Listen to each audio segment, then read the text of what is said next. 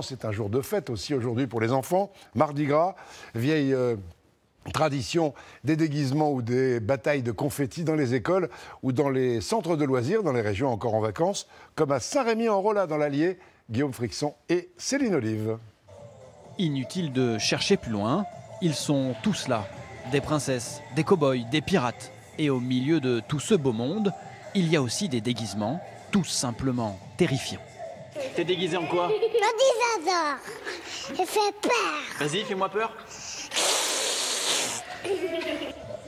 Et lorsque l'on se prend pour un super-héros, on a tendance à se sentir pousser des ailes. J'ai volé ce matin pour atterrir au centre. Ça s'est bien passé ton vol Euh, oui. C'est jour de fête, on est là pour s'amuser, pour profiter. On chante, on danse, et puis on fait un petit peu les fous aussi aujourd'hui, on a un peu le droit. Voilà.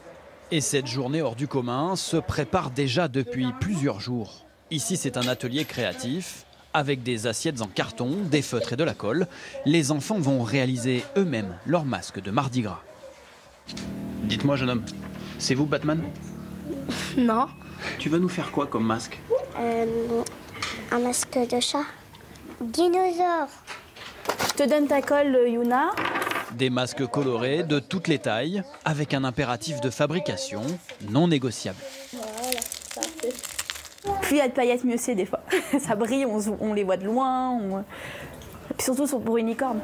Alors en attendant de manger des beignets et des crêpes, les enfants vont pouvoir porter fièrement leur masque toute la journée. Belle